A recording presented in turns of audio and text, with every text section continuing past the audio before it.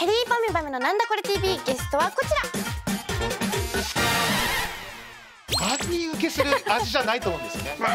7割絶対嘘だと思う。そんなことないですよあれ。いやうまいとは思うんですけどおとなしくしてろよって感じなんですかね。ウニが何したんだよ。